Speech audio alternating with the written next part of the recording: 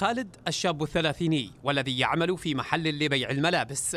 يرى في قانون خدمة العالم ضرورة لمعالجة مشاكل الشباب وعلى رأسها البطالة والذي بموجبه سيكون على كل شاب بلغ الثامنة عشر من عمره الالتحاق بالجيش. مع عودة التجنيد الإلزامي أنا أيد هذا الشيء.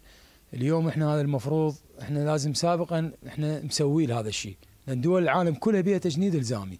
هسه إحنا شبابنا يعني مع الأسف آه، عندهم خمول عندهم آه، كسل بالموضوع. فهذا الشيء يسوي الشاب آه، شلون نقول إحنا بالعامية زلمة. زين؟ وبنفس الوقت توحد الأطياف كليتها ويصير عنده حس وطني أكثر. رغم وجود مؤيدين للقانون لكن أحمد ومعه آخرين يرون فيه تبديدا لأحلامهم وطموحاتهم في التوظيف والحياة الرغيدة. هو طبعا ضدنا يعني هسه مثلا إحنا كملنا مثلا هسه إحنا خمس سنوات نداوم الطب مثلا تكمل. يعني ظلت تدور ها والله على دورة وتعال تجنيد وما أعرف شنو.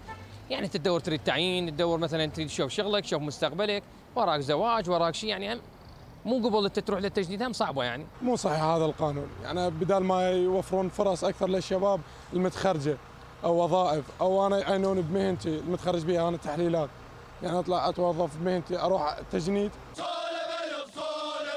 جهات سياسية تمثل مناطق شمال وغرب العراق.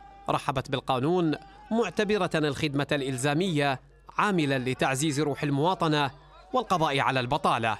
لكن الأجنحة السياسية للفصائل المسلحة اعتبرت القانون يستهدف نفوذها ويقلص حجم تأثيرها امنيا في البلاد. جميع الفصائل المسلحة والميليشيات والمنظمات الإجرامية تخشى وجود جيش قوي متمكن آه، يستطيع محاسبتها إذا ما خرجت آه، عن إدارة وسيطرة القيادة العامة للقوات المسلحة. حتما معنويا ستصبح القوات المسلحة أكثر استعدادا وتأهيلا لمحاسبة الخارجين على القانون. الجدل هنا لم يتوقف عند هذا الحد بل تعداه إلى سحب قراءة القانون من جدول الأعمال وتأجيله للدراسة.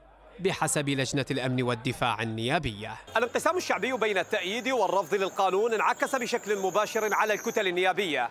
ما وضعها في حرج من أمرها وربما يجبرها لاحقا على إعادة النظر في طرحه مجددا داخل أروقة البرلمان. سامر الكبيسي العربية بغداد.